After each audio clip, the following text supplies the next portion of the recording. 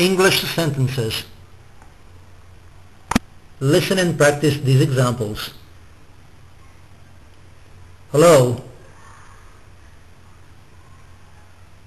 How are you? I'm fine, thank you.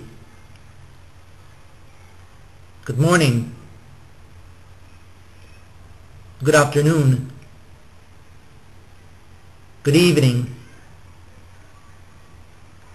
Excuse me, what time is it? It's two o'clock. Thank you. Hello, my name is Paul. What's your name? My name is Mark. Do you live here?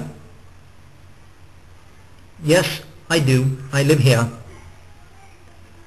How long have you lived here? I have lived here for two years. Thank you.